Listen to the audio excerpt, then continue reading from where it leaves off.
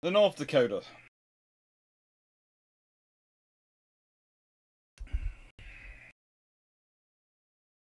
The US Navy's first true dreadnought. Okay, that's going to cause upset, but let me explain.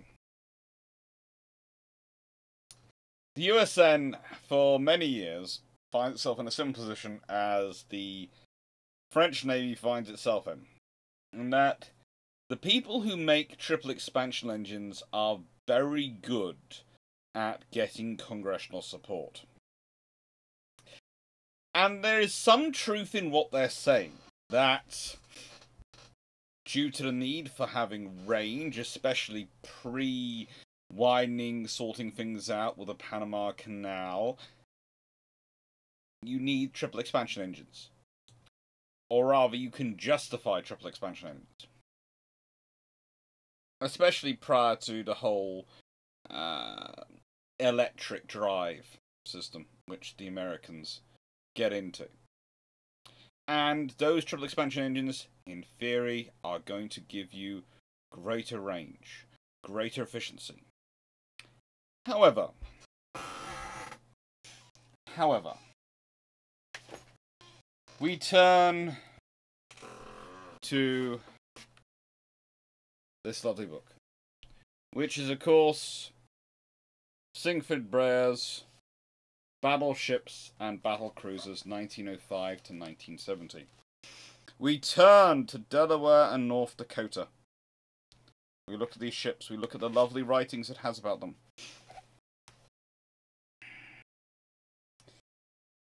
And we go, well, okay, in their trial runs, Delaware managed to get 28,570 indicated horsepower. That's 21.44 knots. North Dakota generated 33,875 indicated horsepower. That's over 5,300 more indicated horsepower and achieved 21.83 knots, we're told. What's even more interesting is when you realise that North Dakota achieves a longer range. And when I say a longer range, I mean a substantially longer range. 6,500 nautical miles at 12 knots versus 6,000 nautical miles at 10 knots. Now, when you start looking at this, you're sort of going, why? This is strange. Well, here is the thing. Just because on paper and according to all logic, the triple expansion engines should be more efficient than the turbines they're producing, especially as considering their relative generational technology in terms of how mature the technology is, how used the infrastructure and industry is to producing it. You would certainly expect the triple expansion engine to be the more efficient one. That does not take fully into account the ability of defense contractors in any period to muck that one up. Okay? On paper, if you're looking at designs on paper, and this is one of the things where I always tell people, I, I always try and read history forward. I always start at the very beginning and work my way forward. And I was looking, starting off the North Dakotas for this one, and it was. I had to remind myself of this all because I started off looking at their plans and working through from their plans I could download and could look up, look at and use, although I can't use in today's video. I was looking at going, hmm, well, North Dakota's going to have a higher cruising speed, but she's going to have a far shorter range. She's probably going to have a higher top speed as well, but she's going to have a shorter range. Because, you know, the way it's all structured, that's, that's the intuitive thing. That's the logical thing. And you look through and you look at the actual results and you look at the actual actions of how they they are when working, and you go, "Oh, great! someone mucked up. So, Newport News, who built Delaware, managed to somehow muck up. Whereas Fore River Shipyard, or Quincy, who built North Dakota, managed to build a honey horse. To use a phrase, one of my cousins who's coming over for the birthday bonanza from Texas, I think she is, likes to use to describe things which are absolutely amazing and work better than expected. So, this is what is today's sh key ship. What I consider the first true dreadnought of the US Navy, and the unintentional honey horse of their earlier ships. And this is despite her having the issues she did, because this is not a ship which has necessarily the uh, easiest life.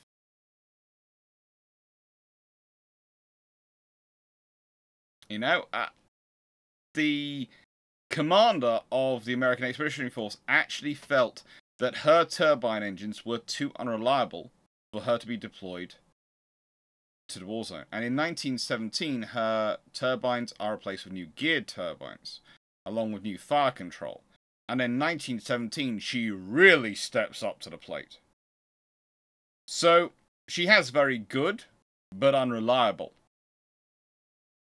you could argue, turbine engines to begin with. But her next generation ones, the ones fitted to her in 1917, oh my.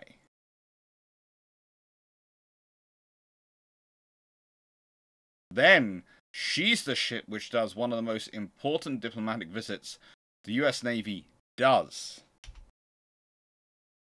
in the 1920s. Well, technically it's 1919, but um, mm, almost gets there for 1920.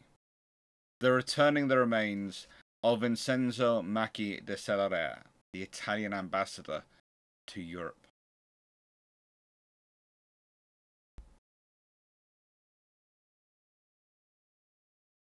That was her second trip to Europe.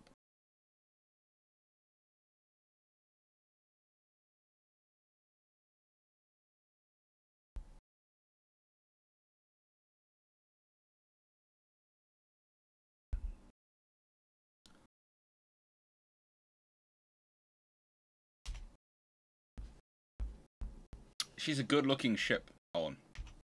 Shameless book plug. What can I say? I just really like it selling. And that's not just because the more copies it sells, the more it winds up some of my colleagues in a good way. Okay, it's not not actually causing them physical pain. It's just winding them up. Okay, just a little bit. It's just fun.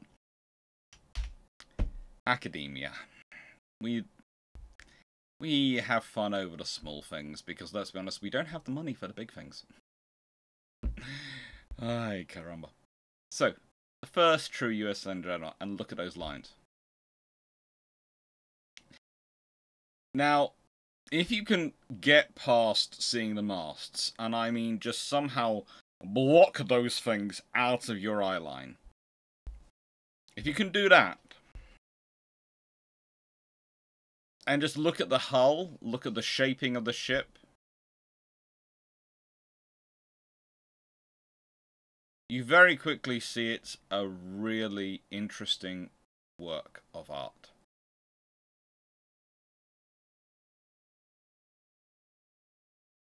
It is a powerful statement of the United States. These guns are raised up high, they're raised up proud. And please note, Delaware looks just as good. Okay? Again, she's a good ship. And please don't get me wrong when I say the the triple expansion dreadnoughts the US and the has are good ships. Most of the time, there are the things work out exactly as they're supposed to. They work out exactly as they should do in terms of, oh yeah, higher cruising speed, slightly higher top speed turbines, more, longer range, more efficiency from the triple expansion engines. Yeah. That's what it normally works out as. Not necessarily a massive amount of difference in terms of the top speed, but it works out that way. And they're not bad ships. I might not consider them true to, uh, true dreadnoughts, but that's because the benchmark, and I've done a video about benchmark navies. It, it actually went live tonight when I'm recording this, and as usual, when I go for a slightly more abstract topic, it doesn't necessarily do as well as me just putting up biggest battleship. That does better.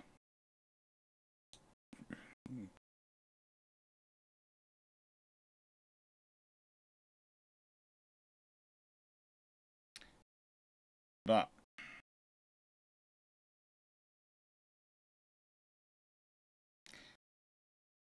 this it has to be compared to the benchmark. And the benchmark are the dreadnoughts. That is HMS Dreadnought of the be- uh, the benchmark, surprise enough, of Dreadnought battleships is HMS Dreadnought, and she's turbine powered because that's the new engine system coming in, and that's what they've chosen to try and achieve her speed and her operation capabilities, and so that's what you're comparing them to. And yes, you can have perfectly good reasons for not going with turbines, but then you're not building to the benchmark and you're making a reason for why you're doing it. So, true, Dreadnought.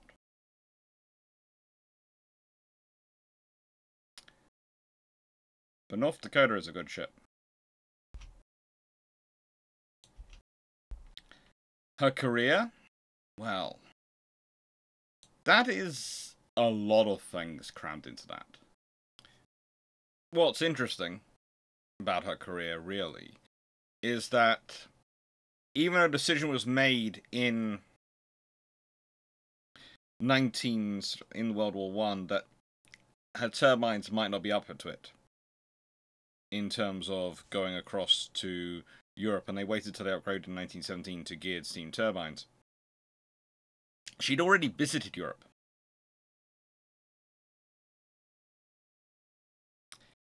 In 1910, she did a goodwill visit to Britain and France. So in North Dakota, what I think happens with the turbines, and this happens with a lot of the early first generation of turbines. So this is an this is an interesting thing to think about because they last as long as they do, and they do do what they do, and they're as capable as they are.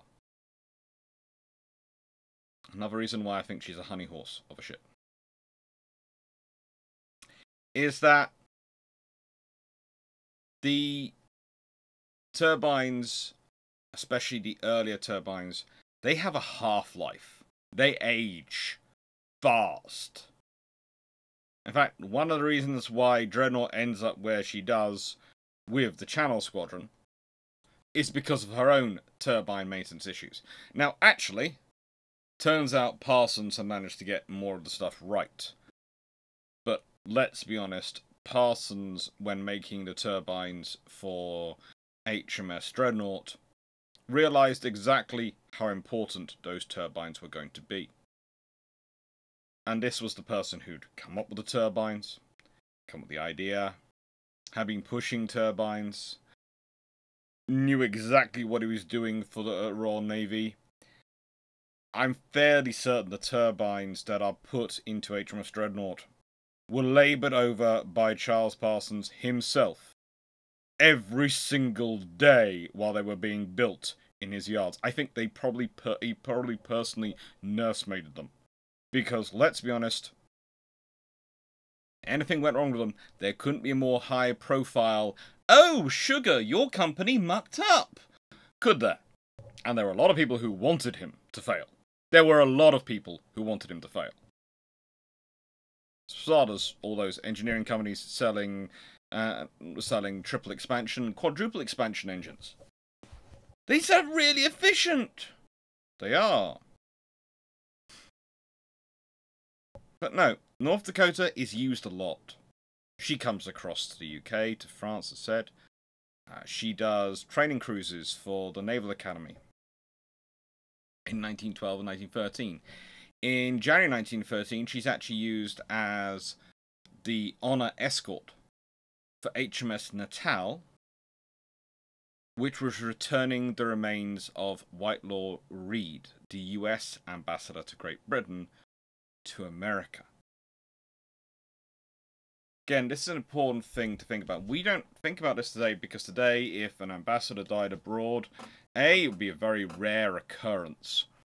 B, they'd be loaded on a plane and flown back.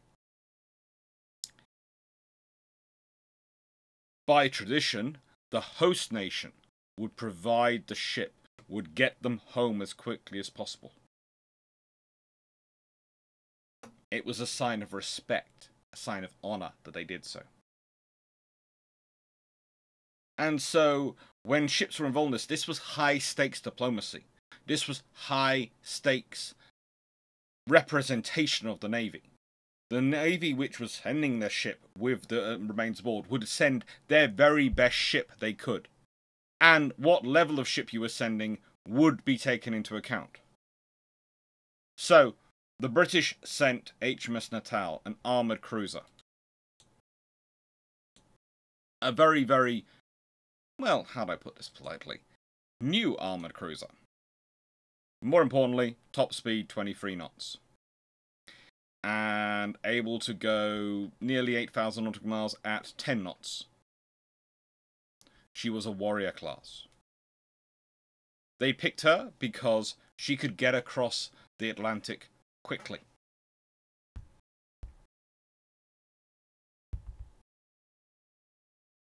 And in 1913, that mattered. Let's be honest, the only other options to go for something faster would have been to use a battle cruiser. And I'm sure they considered that.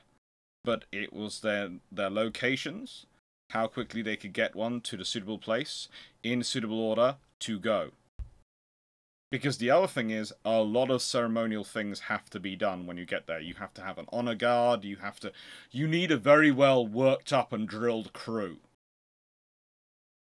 So you're looking for the fastest, best ship you have with the best crew you have that's available to go right now. That's a criteria.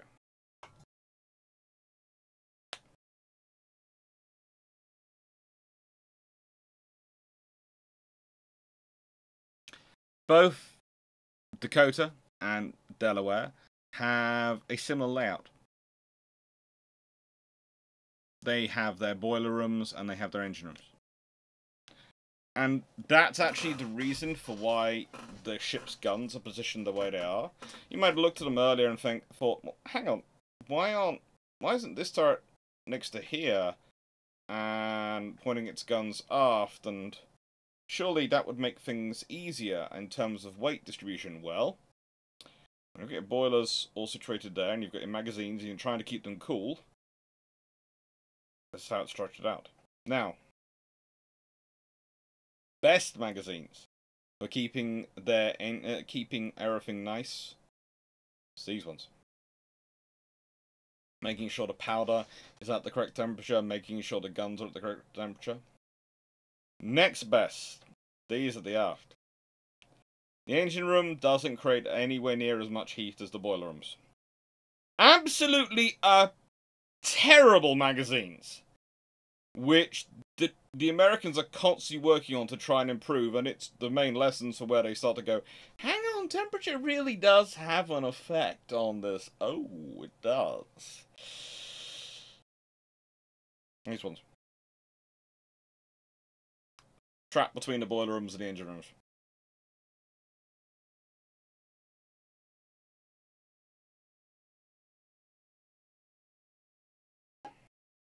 Now, it's unsurprising that these ships, especially North Dakota, were some of the vessels sent to steam off Vera Cruz when there were issues there with Mexico during their revolution in 1914. And then she took part, along with her sister, in the. How can I put this? The Americans warming up for war. This happens in both World War One and World War Two. The Americans see the war break out. They don't join. But most of their force are fairly certain at some point we're going to end up joining this mess, aren't we? Yes, we are. Great. We'd better start training then. And so they do. They go off and do a lot of training. And the Atlantic Fleet especially does a huge amount of training.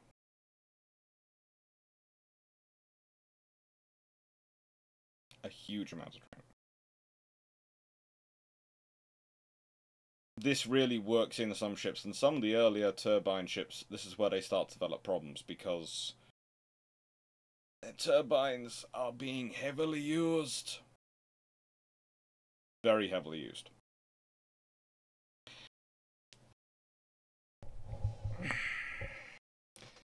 Please note, just in a aside and a fourth wall break, I have been playing around. Well, when I say play around, I have been trying to adjust the settings on the new mic to get them right. I'd managed to get the old mic right, and then it's it managed to break itself. The new mic, I think I'm getting there. I think it's getting good because I noticed there was a lot of sharpness coming through, especially once I put the videos through the enhancer of the sound system. and I tried to modulate that down by taking the gain down just a bit. Just a little bit down on the gain. But it's a constant work in progress, and it's me listening back to videos, and for some reason there's sometimes very much difference in the terms of the video I hear once I've recorded it and put it through all the processing on my computer, and the video you hear on YouTube. So any advice, any help, any suggestions, always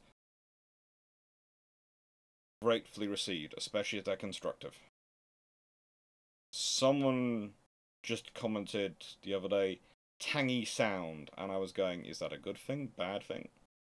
Is tangy a slang for good, something good, or does it mean it's tangy as in it's sounding metallic and high pitched? Context, please. I'm a historian not a sound engineer. So, when you look at these ships, you will see there is a huge amount of similarity according to their stated. Please note that stated stats. And it's rather fun when you work through it and you look at them and go, wow, you did really well. Well, we know for starters that the 21 knots is lying, because we know one achieves 21.83 knots, and the other one doesn't do bad either. It's, you know, the things the US Navy does not build necessarily the fastest ships in the world, but they don't build bad ships either.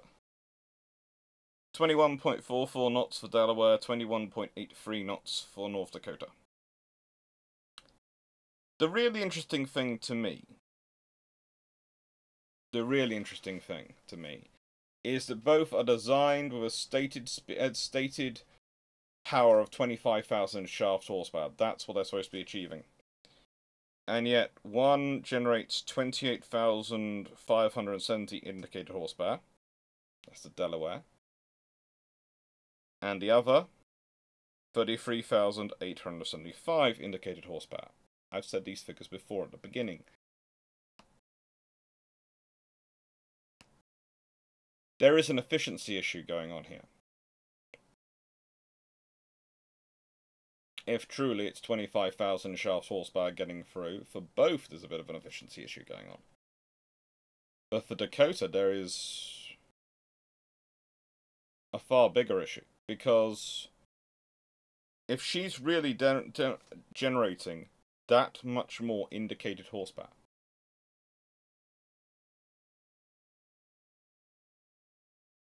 yes, there are issues with the direct drive turbines. In terms of getting the power through at this point. But she could have been a much faster ship. Okay, let me quantify that. For the period, she could have possibly been a 23 knot ship on that indicated horsepower.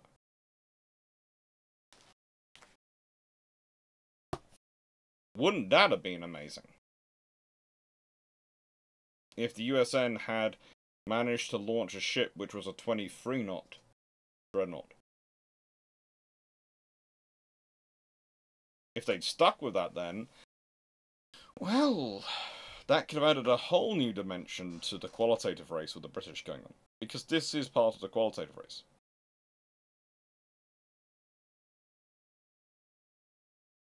She's super firing guns fore and aft. The British were building those lovely wing turrets. Ugh. So she has got a 10 gun broadside from the get go. Rather than 8.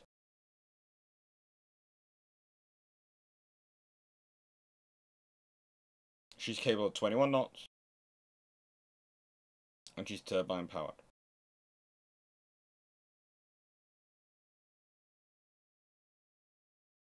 This is a challenge even in this form, even with her speed, etc. This is a challenge in the qualitative race. This is turning around to the British and going, yeah, we've just built a design and oh, it's super firing and it's got these.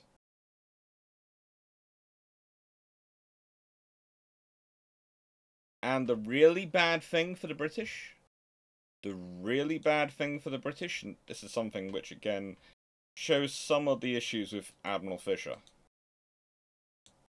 is that the South Carolinas have been the same. They were super firing. Their guns were on the centre line. Now you can argue they don't have the six forward firing guns, which Admiral Fisher insisted were an absolute priority. They have four. True. But the British accepted four with the Orions. They accepted four with the Queen Elizabeth. They accepted four with all sorts of ships, so why not? This is the point about the qualitative race. It brings out the best in both sides. It really does. Because this is the USN achieving the benchmark but going further than the benchmark. They produced a ship which is matches in with Dreadnought in every single way, apart from it exceeds it in its uh, broadside firepower.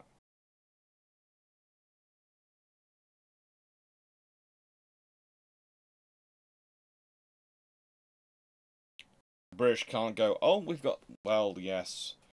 But you're still using triple expansion engines, aren't you? They're good, yes, and you're, achieving good speed with them, yes. But still, it's triple expansion. They can't say that with North Dakota. And this is the start of what really develops with the US Navy's battle fleet.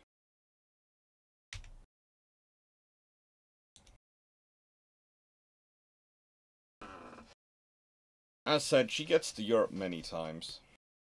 She really does. She has the issues with her turbines in the sort of the first period when they are looking at the first group to deploy over, and they send her in and they replace her turbines.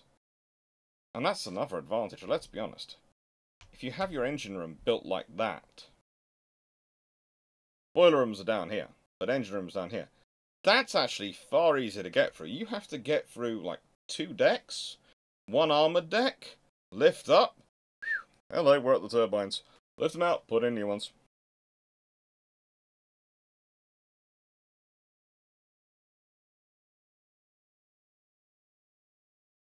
These are twin shaft designs.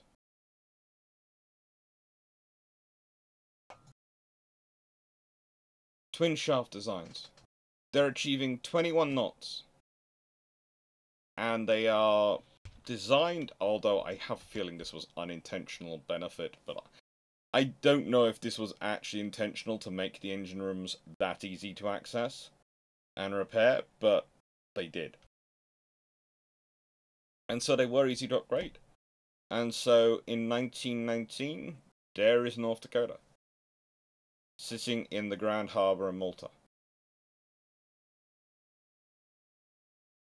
Looking absolutely resplendent, resplendent there.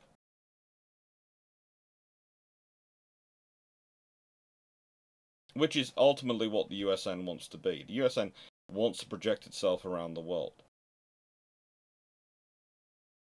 The USN is growing into itself.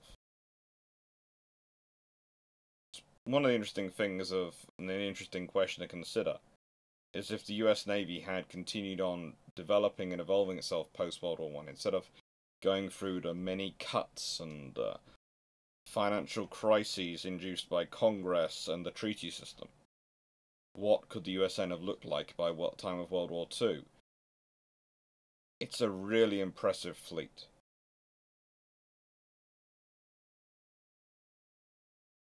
And whilst you can argue it starts with the South Carolinas and it starts with Teddy Roosevelt's campaigns while he's president and even before that, truly, I'd say it starts with North Dakota. Because when she comes out, she shows they are able to build to match the best in the world, aka the benchmark.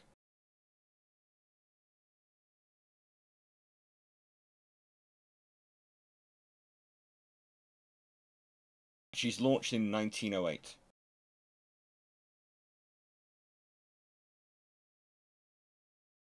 Launched in 1908. They caught up with the benchmark in two years. And there's no, oh yes, this is equivalently as good or anything like No, this one is as good, if not better. Arguably better because of the greater broadside. That is something to be proud of.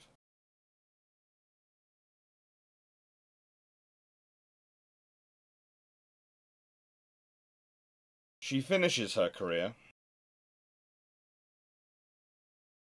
as, well, a radio controlled gunnery target ship.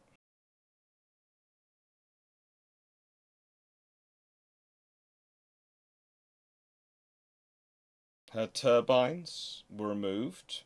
This is her 1917 turbines were removed, and uh, for use aboard the USS Nevada, when that vessel was modernized in the 1930s. But she served as a gunnery target ship from 1924 till 1930. Replaced that role by USS Utah. And is stricken in 1931 from register and sold for dismantling in March 1931.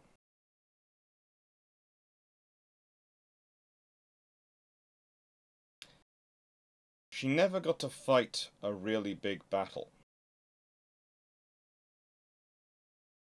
She got to see the Ostfriesland tests.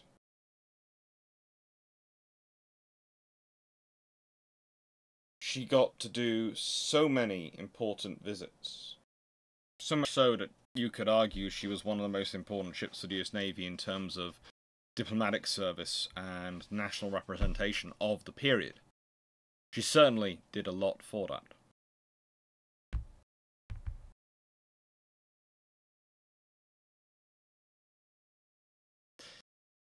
Which brings us really to her question, the question. question that should be really asked when you talk about these ships, because whilst I said I would have loved and was tempted by the idea of a question about what happens if the US Navy is allowed to continue developing to its full capability. What happens if the Congress doesn't muck around, if various things don't go wrong? What happens if they get that? But I can't really ask that question. That's a massive question. That's a question I would do a video over, and I'd probably still be talking about two and a half hour video. By the way, thanks to all the comments from people who've gone, I would watch a three hour, four hour, five hour, six hour video. I have done a few of those. Not as many as my good friend Drachinifel, but I've done a few. The trouble is, the stats I get are that if I do a one and a half hour video, about 35% are watching to the end, roughly.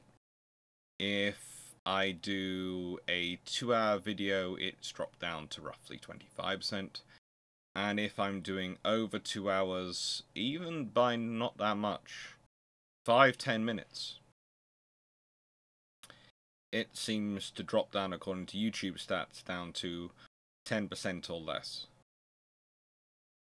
And the thing is, that means, and this is the thing where it's annoying being a lecturer, you get the idea of, hang on, I'm supposed to structure my lecture so my students listen to the whole way through. And students, audience, listening the whole way through. So that starts to wear on your mind. You start to think, how can I do this? So I'm trying to structure them for the roughly 75 minute, 90 minute mark in terms of long patrols and. Well, these I've given up on making them 20 minutes, but I'm, I'm trying to keep them to roughly 40. This one might even be under 40. A couple of them have been. By A few seconds. No, the question for this has to do with North Dakota and the US Navy. The question is, what happens if North Dakota really doesn't work? If her turbines aren't as good? Because let's consider it. The next class that comes after her, they are the Floridas. And they, well, let's be honest, have Parsons steam turbines.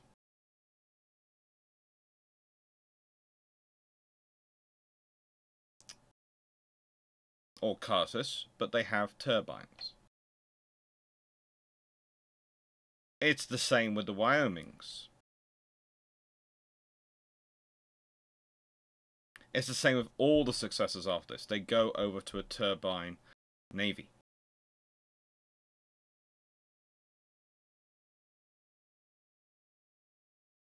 And the capabilities as such well they improve dramatically and US infrastructure grows. But what happens if North Dakota is not good? What happens if North Dakota doesn't work? And the USN therefore decides we have to stick with triple expansion steam engines or quadruple expansion steam engines. How do you think that affects the US Navy going forward? How do you think that affects the US Navy as they move forward into what they become? Into the classes that become the standard class battleships? North Dakota was a success. And we can say that because she's used as a justification for the transfer onto steam turbines.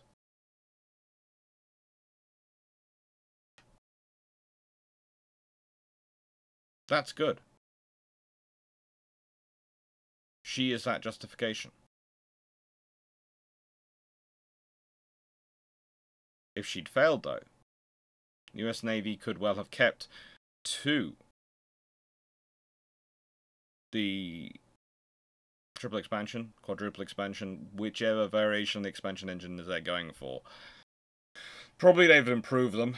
I think they'd probably be using a version of the quadruple expansion engine, but they might try for even more. They might even go for a quintuple expansion engine. There is a theoretical possibility of it. It is mooted at one point, but I think think Curtis. But I would have to check that up. I could be wrong. I could be wrong. It's just I remember reading in an old book an advertisement, and I think it was Curtis but I could be completely wrong on that. So please do not quote me. That is, it just popped up in my head the entire image of the advertisement. So hmm. I'll leave that in here. Just. So, thank you. Thank you for watching. Hope you enjoyed. Take care. This is going to be over 40 minutes long. oh.